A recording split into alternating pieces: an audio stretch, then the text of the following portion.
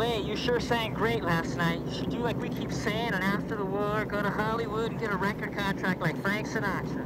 Yeah, so we can say we knew you when. Nah, I'm gonna get a nice little farm, a nice little life, and settle down. Luke's the one who should go to Hollywood. Shoot, he can star in the movies.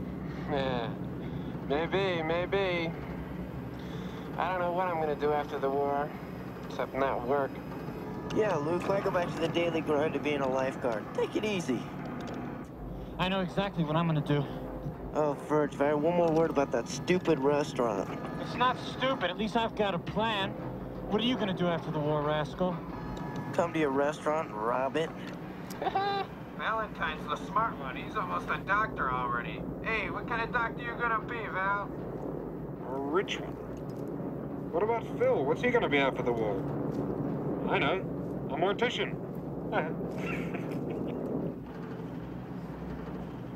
Hey fellas, think about this.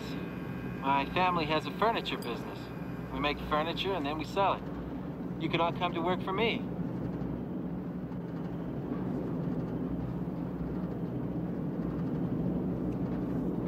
Like I said, don't give it a thought.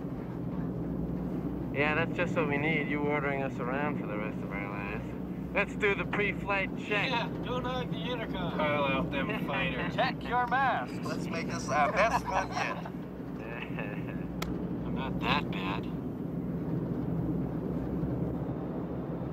Say, Danny Boy, you didn't say what you're gonna do when it's all over with. Clay, I don't even like to think about it. I mean, what if something happens? I mean, well, we could all be old men by the time the war is over. It just seems so far away, you know?